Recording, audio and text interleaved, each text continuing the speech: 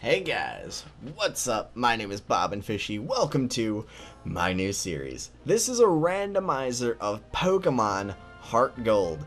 Now, if you guys don't know, I've said it before and I'll say it again Heart Gold is my favorite Pokemon game. And we're randomizing the heck out of it, man.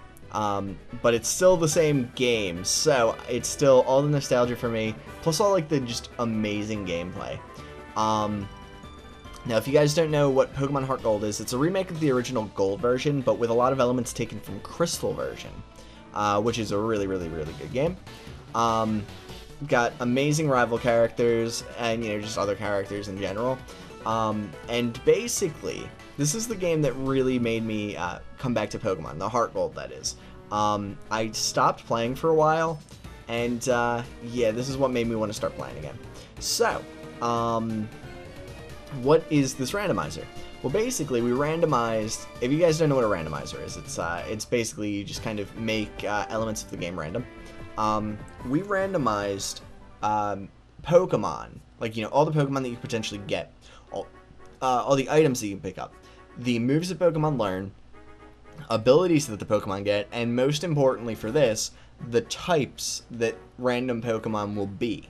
So, basically, if I get a Charmander, there's no guarantee that it will be a fire type. It could potentially be a water type. And if it is a water type, it could potentially evolve into, say, water slash grass. And I could have the other two, you know, elements of the of the type chart in my Charmander instead of a fire. Um, now the starters are going to be random. All the Pokemon that I run into are going to be random. Um, I have it set so that uh, Pokemon will kind of be in my relative ballpark in terms of strength as I go. Um, in theory, anyway. Also, um, Pokemon will kind of just be in. Um, what'd you call? Oh, you know, it basically it's very similar to my other one, except for um, the the types being changed up. Anyways, hmm, interesting. Huh? Oh, excuse me, sorry. I was just reading this book here. It's Professor Oak! Sorry to keep you waiting. Welcome to the world of Pokemon. My name is Professor Oak, but everyone calls me the Pokemon Professor. Before we go any further, I'd like to tell you a few things you should know about this world. The, this world is widely inhabited by creatures known as Pokemon. And there's a Pokemon. We humans live alongside Pokemon as friends. At times we play together, and at other times we work together. Some people use their Pokemon to battle and develop closer bonds with them. What's he got to say? Now, why don't you tell me a little bit about yourself? Are you a boy or are you a girl? Uh, tell me, won't you please tell me? I'm a guy, so, you know, as you do. Please tell me your name. Okay, so we are Bob. Let's see, lowercase o, uppercase b.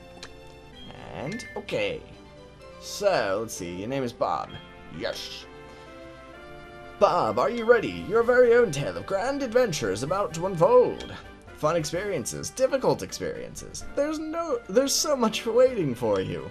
Dreams, adventure. Let's go to the world of Pokemon. I'll see you later. Guys, this is so exciting. This is so exciting. Anyways, yeah, we are gonna have to um, go ahead and do that. So, let's go ahead and go down the stairs. And what's our mom got to say? Hi, Bob. You're finally awake. Your friend, Li uh, I'm guessing this is pronounced Lyra, maybe Lyra, but I'm gonna go with Lyra, was just here. She was playing hide and seek with her Marill. Oh, I almost forgot. Our acquaintance, Professor Elm, was looking for you. He said he had a favor to ask of you. You know where his lab is, right? It's right next door to us. By the way, do you have everything you need to go out? Here, use this bag to carry things. Oh yeah, we got a bag. This is your trainer card. Oh, we got a trainer card. Here, you can save a record of your progress. There, these are also rather helpful. Options. Just try touching the buttons and you'll know what to, uh, to do in no time. Okay, cool. So, um, we are using a controller, so we're gonna use all this, but, um, yeah, or, uh, we can also use the touchscreen. I'm just not gonna. Anyways, okay, so, oh, there's the Marill. So Lyra's gonna be here in a sec. Now oh, there she is. I see her. Aha. So we're gonna, um, I'm gonna tell you right now, we're gonna name all the Pokemon we catch after people from the Pika chat. So, uh, Robotnik, uh, Gargleflop, Chris, uh, Duffy, all those guys. So, we need to go, oh, here's our rival guy. Let's go talk to him. What? Dot, dot, dot. So this is the famous Elm Pokemon Lab. What? What are you staring at? Kick. And what a jerk. Anyway, we're naming him after Otto. Because my friend Otto has red hair. Anyways, let's go ahead and talk to Professor Elm. Huh, me? I'm not the professor. He's at the back of the room. If you didn't know, the professor's always in the back of the room. I was just wondering if I would get anything for free. Hi, Bob. I've been waiting for you. Do you know anything about my research? As you know, Pokemon are carried in Pokeballs these days. But before the Pokeball was invented, people used to walk with Pokemon, just like your friend Lyra does. Pokeballs are great because you can carry many Pokemon, but walking with Pokemon must have some advantages. It could have something to do with how Pokemon grow or evolve. So I'm going to give you a Pokemon. Can you walk beside this Pokemon outside of its Pokeball to see if this brings any special feelings or bonds between Pokemon and people? The device over there has some Pokemon you could choose from. Okay, here we go. We're gonna choose a Pokemon, guys. Oh, hey, I got an email. Hmm, uh-huh. Okay. Hey, listen. I have this acquaintance that people call Mr. Pokemon. He keeps finding weird things and raving about his discoveries. Anyway, I got an email from him saying that this time it's real. It's probably another Pokemon egg, but we're still so busy with our Pokemon research. Wait, I know. You can go in our place, right? We can we count on you? There's that you can choose one of the Pokemon over there. Okay, so let's go ahead and choose one of the Pokemon over there. Um, I'm gonna base this almost entirely off of looks because nothing else matters, like stat-wise. Here we go. So let's see. Touch a Pokeball to see what Pokemon is inside. Oh, I touched it. Ooh, it's a Porygon. Porygon, the Fire-type Pokemon, is in this Pokeball. Okay, so Porygon's a Fire-type. Interesting. Let's see what else we got. Starly, the normal type Pokemon, is in this po- uh, Star Starly got stuck being normal. Bomber. And let's see what else. Wait. Totodile, the poison type Pokemon, is in this Pokeball. Okay, guys. So we gotta choose Starly. Oh man, this is actually a really, really tough choice, honestly. I do love me some Porygon. Uh, and I actually have it set so that he can evolve, I think. Um, I'm fairly certain I did that. Uh, we also got Totodile, uh, who's a you know a pretty beast uh, you know guy when he turns into Feraligatr. The only thing is, Poison is a really bad typing, and Normal's just super duper boring. Let's go with Porygon. Let's get that Fire type Porygon up in here.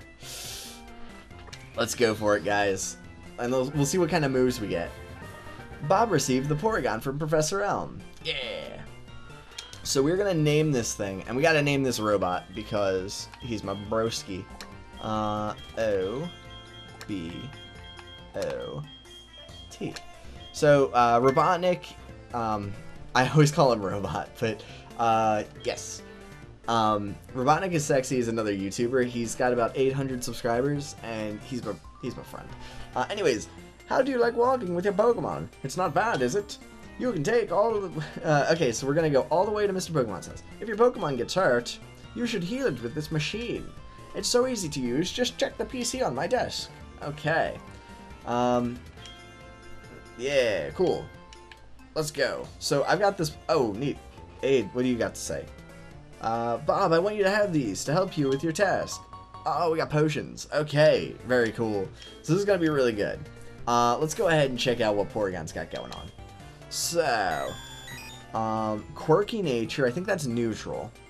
Um, ability, intimidate, that's actually, whoa, look at that physical attack on this thing. Holy cow. So if we can get some like flare blitz or something going on, that'd be rad. Anyway, what, uh, he's just fire type. So he's got some normal moves, some fire moves, very, very cool. Um, his special attack isn't amazing, but Still, that's pretty rad. Very cool, guys. Okay, so we're happy with this. So let's go ahead and start on our way to the next town. Up, oh, there's Lyra. What's she got to say? Um, Bob, so you picked a Porygon. that's a cute Pokemon you have. When you walk with it, it'll become more friendly. You should turn around and ask it or and talk to it sometimes too. Oh, that's right. Why don't you show it to your mom? See ya. I'll show you. Nah, I'm kidding. That's a good idea. Uh, anyways, okay. Porygon, me and you, man. Space Duck. Um, you know, I could have named this after uh, anybody that's in the chat, but I like Robot. So, anyways, oh, Bob, that's a cute Pokemon there. Professor Elm must have given it to you. Oh, Professor Elm has a task for you, you say? What kind of task? I see. That sounds a little difficult. But when it, uh, when someone makes that kind of request on you, it must be important. Oh, that's right. I completely forgot. Your Poke, uh, Pokegear came back from the repair shop. Here you go. Yeah, we received a Pokegear.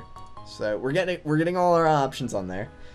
The Pokegear, uh, uh, the Pokemon Gear or Pokegear as it's often called, is what every trainer should have. Guess what? You can use the Pokegear to make a phone call too. Do you remember how? Yes. Just power on the Pokegear and touch the telephone button, okay? The names of the people you can call are automatically registered. Just select one to give him or her a call.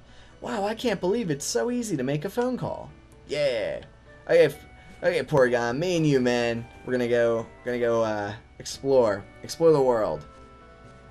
So, whoop. Wait one second. Oh no, we're gonna wait a second. What's he gonna say? Oh golly, I almost completely forgot about this. Here you go, I'll give you my number. Bob registered Professor Elm in the Pokegear. Oh yeah. I'll call you if anything comes up. I feel like we're gonna see that a lot. Anyways, let's go ahead and keep going. So me and my Porygon. You excited, Porygon?